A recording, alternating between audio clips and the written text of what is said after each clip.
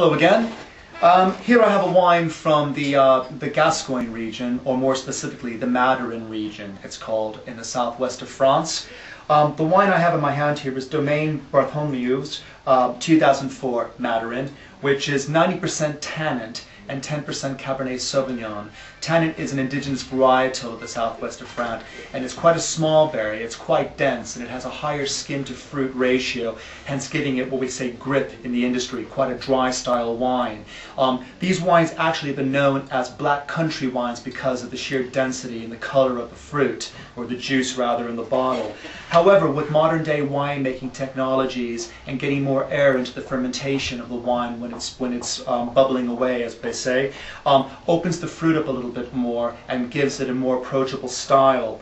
Um, this is definitely a food wine, but at the same time, it's quite approachable on its own.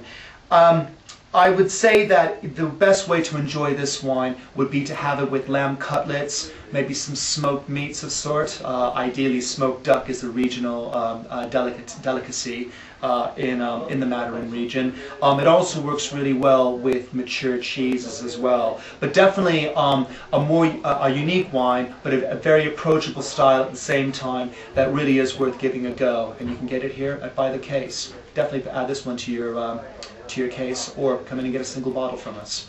Cheers.